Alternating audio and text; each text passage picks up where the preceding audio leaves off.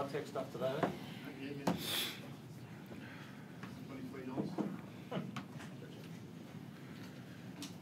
Nine. Thanks, Josh. Joe, we just start with your assessment? That match must be a little bit frustrating. Um, yeah, that's what I think. Yeah, the scoreline. The scoreline is the scoreline, but the performance is, is what we really need to to uh, focus on and try to get a number of the elements um, more competitive. I, I, I guess um, I, I thought from most of the collision areas, all of the collision areas really, we, we struggled uh, from the breakdown. Um, they, they got some early traction through their scrum penalties. Um, the line out, we, I, I, felt we defended the line out more reasonably well in the first half and and uh, and and kept them off our line, which was a a big um, focus area for us. So, so that was positive. Um, the one they did get with the um, with the transfer aerial transfer, um, you know, I, I, felt we probably should have done better. We we kind of anticipated it, but but didn't deliver the defence that we were looking to deliver. Um, they don't give you a lot of breathing space. Um, you know, it, it was hard to find oxygen in that first half, particularly when we when we conceded, I think eight or nine penalties, and, and, and they they didn't concede the penalties or, or didn't get penalised uh, to the same extent. So it, it just made it very very tough work um, getting out of our half. And then when we did, um, we kicked the ball away a couple of times without kicking it accurately. We didn't get into the aerial contest, um, and then um, obviously the the contest at the breakdown. Uh, we just weren't effective enough there. Um, uh, just the Joe mentioned there for a place point of view. you get the World Champions that much ball territory, you get them from football.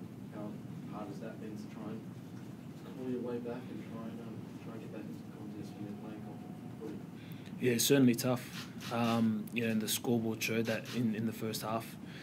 Um, and it's going to be a tough learning for us, but understanding that uh, yeah, you can't give them an out or, or, or an easy out, you know. And as our coach mentioned, and they put us under pressure at set piece and then came to our multi-phase attack and they were pressing our breakdown, you know. So uh, we probably can't afford, our learning is we can't afford to give them those moments back to back, you know. So um, that's what that's what um, you know made it tough to get out of our half.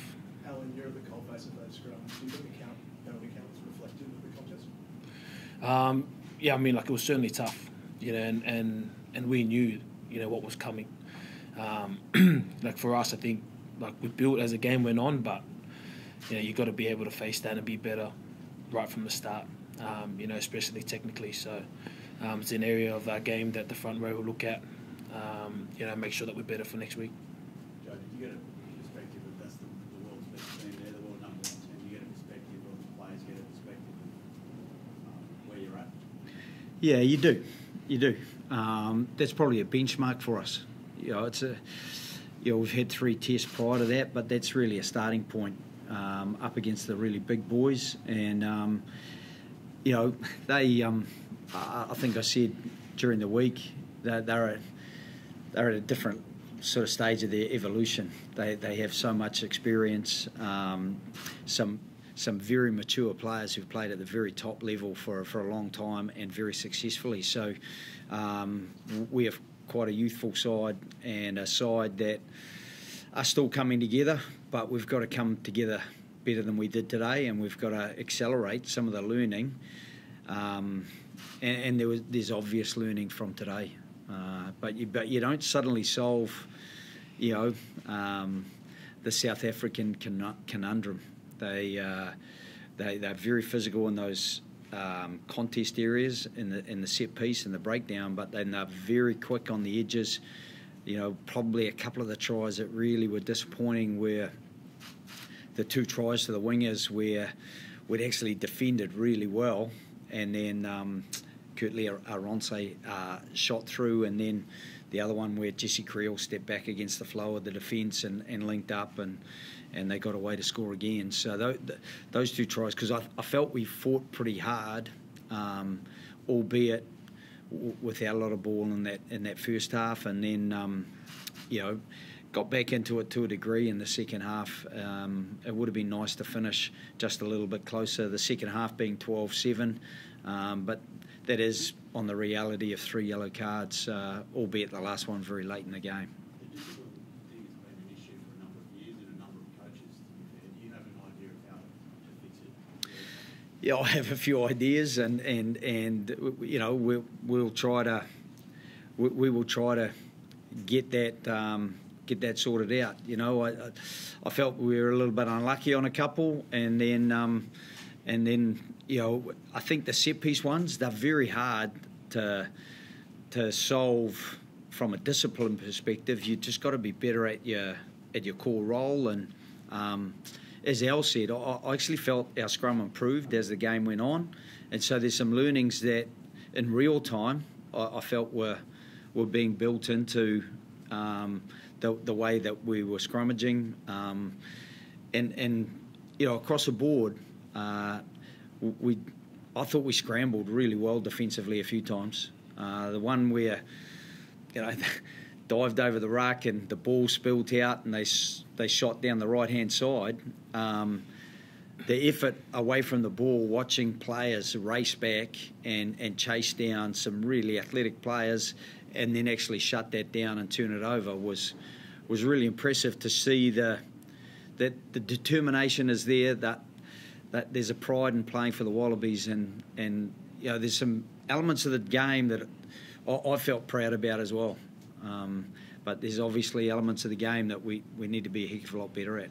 How do you, um, how do you make sure that this team wins the physical battle in collision next week? Do you, do you have the time and do you have the tactics um, and the personnel to do that? I, don't think you can ever guarantee anything. I think South Africa will maybe change up a, a few personnel or, or, change up a few of uh, the, the things that they did, and so you, you're always trying to adjust. Um, but but I do think that uh, that there is an opportunity for us to to to get back into some of those contests. You know, we from the from the scrum um, to to the aerial contest where we didn't really get into the into the contest, and and it if if you don't get into those contest areas, then it's very hard to to play without the ball against a team as powerful and as fleet of foot um, and skillful as South Africans. Does a performance like that, where you lose the collisions, does that influence some of your short and long-term thinking around personnel? Um, not not entirely. You, I, mean, I think there's guys who will improve what they're delivering, um, and you know maybe it won't be improved in, in time for next Sunday, but or next Saturday, but. Uh, we, we do have to have a bit of a long-term plan. We have got a, a much younger side than the South Africans. We've got a lot less caps. We've got a lot less experience, and therefore, um, it, it, my belief, if if we chop and change too much, then it's very hard to to grow the cohesion. Um, because when when you go out in a game like that, you are very interdependent, and you're going to have to make sure that everyone knows their role has been built, um, ready to to deliver their role, and. You know, I I thought Carlo Tizzano did really well t- today, really well. You know, it would have been nice to have Fraser McReight as well, and and Luke Reimer coming off the bench. Um, there, there's there's guys who who, who um, will get better with opportunity. You know, two guys making their um, their test debut against the likes of Siya Kolisi, Kwagga Smith, Peter Steph Toy. Um, you know, it, I, I am a realist, and I know that you don't suddenly match up front up and, and better those guys, but you've got to better yourself for next week. Jerry, you have Last ideas? couple of weeks, an update of what you know about sort of injury front. You know, Filipo going off early. Big Big Frost had a pretty nasty sort of shine around the eye there. Yeah, Ni- Nick's was um, he, he split his eye, and um, with it, it, it was quite a bad laceration. So um, his eye, you know, it's it's almost closed over at the moment, which which affects your vision. He also took a bit of a knock at one stage, so he he was off. Uh, Filipo, um, you know, that, he, he down on it. or got hit on the leg, and so we're going to get that uh, checked out, and we'll have, I I would say by Monday, a, a, a decent idea about that. Um, and I think the only other one, Jeremy Williams came off. Um, Jake Gordon had a laceration, but um, I'm, I'm not sure about how those two are. Alan, from the player's perspective, who do you take from that game to feed positivity for the next week? It's going to be a tough pill to swallow, but a lot of our boys will learn from that. Um, as our coach said, like we've got a, a lot of our boys with um, you know a handful of caps. You know, is learning what the test arena is like, and there's no better way to learn than um, you know versing the South Africans. So um, again, we've got to learn um, and then make sure that we're better for Perth. Just the innovation from uh, the Springboks, you said that you weren't surprised by the, the line out. Um, we kind of were we expecting that, and what do you think about that? Yeah, we, we- we've seen it before from them. So you, you try to you try to cover as much as you can without distracting players who are then looking for too much, and you get clutter instead of clarity around what you're going to do. Um, so we became probably a little bit fixated on on where, where the ball landed, um, where the jumper was. As opposed to the to the secondary pod that they kept in the air and the, uh, at the front of the line out. So, yeah, th- those little bits of innovation, um,